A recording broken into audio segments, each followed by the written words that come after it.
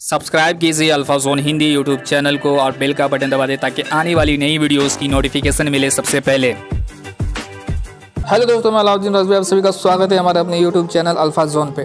दोस्तों, आज की वीडियो में जो बात करने वाले इन्फिनिक्स नोट 5 फ़ोन्स के बारे में बात करें, जो स्मार्टफ़ोन नया पिछले महीने में जो लॉन्च हुआ था, इसमें आपको क्या क्या देखने को मिल जाता है, इसके क्या फीचर है, क्या एंड्रॉइड वर्जन है, क्या आपको इसमें प्रोसेसर देखने को मिल जाता है। अगर ये मोबाइल लेने की सोच रहे तो वीडियो को देखिए लास्ट तक, क्योंकि लास्ट में हम देंगे ओपिनियन ये फ़ोन आपको लेना चाहिए कि नहीं लेना चाहिए, इस रेंज में कोई अच्छा दूसरा फ़ोन ही बताऊँगा आपको कि वो फ़ोन लेना चाहिए या ये फ़ोन लेना चाहिए। तो बने रहे इस वीडियो के साथ, चलिए वीडियो को शुरू कर लें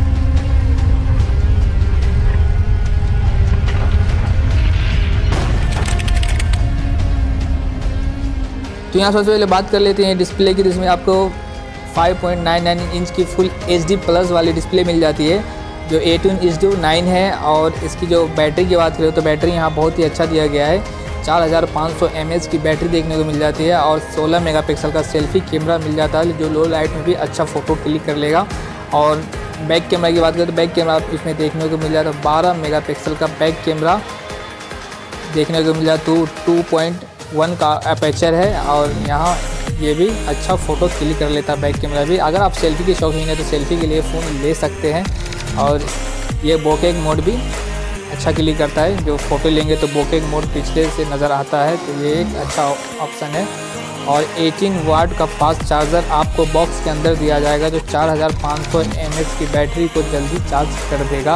और एंड्रॉयड वन मिल जाता है आपको देखने, जब ये फ़ोन ले गए तो आपको ऑडियो पे मिलेगा, लेकिन बहुत जल्द एंड्रॉयड वन का अपडेट मिल जाएगा और फिर कुछ दिन के बाद एंड्रॉयड पाई का भी अपडेट देखने को मिलेगा। कंपनी का दावा है कि दो साल तक आपको ये अपडेट देंगे, दो साल तक कंपनी अपडेट देगी ये फ़ोन पे। तो ये एक अच्छा ऑप्शन है गूगल लेंस का भी सपोर्ट देखने को मिल जाता है। और इसमें गूगल का जो स्मार्ट सिक्योरिटी स्मार्ट लाइफ जो गूगल असिस्टेंट वो भी आपको देखने को मिल जाता है, वो भी सपोर्ट करता है इसमें। और यहाँ सिम की बात करें तो सिम आपको देखने को लगेगा, दो सिम कार्ड एक मेमोरी कार्ड एक साथ लगा सकते हैं। यहाँ तीन पर ट्रिपल स्लॉट है, जो दो सिम कार्ड लगेगा, दोनों में आपको वॉलिटी सपोर्ट करेगा। तो दोनों में आप जियो का फ़ोन यूज़ कर सकते हो और फिंगरप्रिंट सेंसर भी दिया गया है।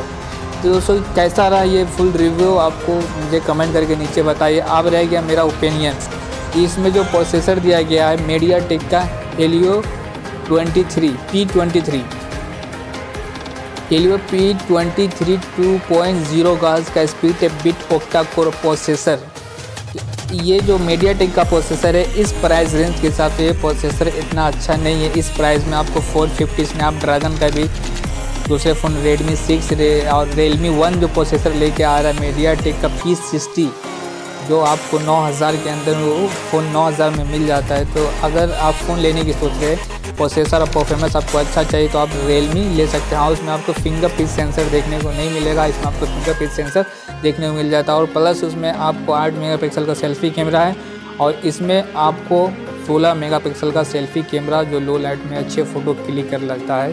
तो ये रहा मेरा ओपिनियन अगर आप बैटरी और सेल्फ़ी के लिए ले रहे हैं तो ये फ़ोन आप परचेस कर सकते हैं। अगर आप सेल्फ़ी और बैटरी लाइफ से ज़्यादा ये नहीं रखते हैं तो आप वो फ़ोन ले सकते हैं। रियलमी का जो परफॉर्मेंस बहुत अच्छा उसका मीडिया टेक का पी सिक्सटी वाला प्रोसेसर है, जो अच्छा परफॉर्मेंस करता है।